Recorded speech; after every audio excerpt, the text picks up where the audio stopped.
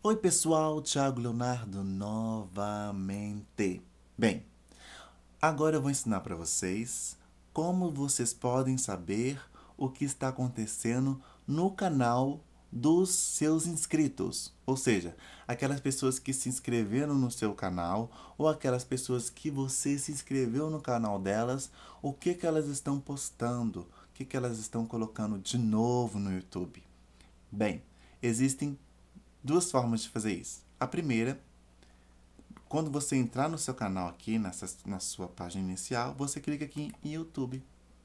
Você precisa estar logado, tá?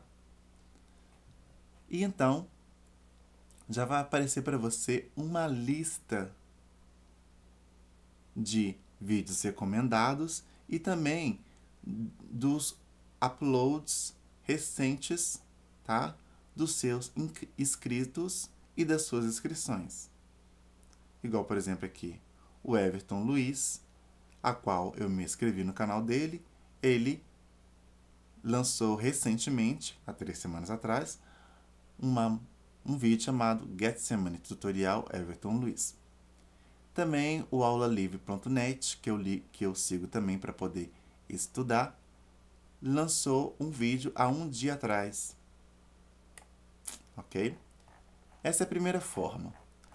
Se eu não quiser ir por aqui, eu também tenho outro atalho. Eu clico aqui em cima do nome do meu canal